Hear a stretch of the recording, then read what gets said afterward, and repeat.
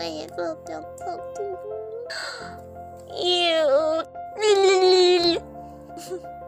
Yay! As you take this next step, know that I will always be there. Why, Sue? I'm so blessed to have you as a sister, and now I'm even more blessed to have two.